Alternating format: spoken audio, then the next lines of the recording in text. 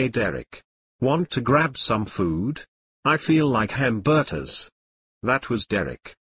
He was born with a condition that makes him unable to speak and he always has to have his tongue out. Hello, what would you like today? I would like a two steaming hot wings with mustard.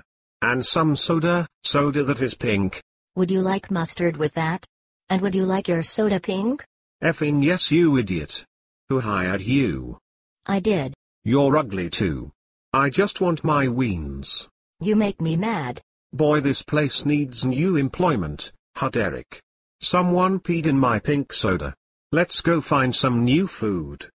But first let's stop by your house. I really needed to pee.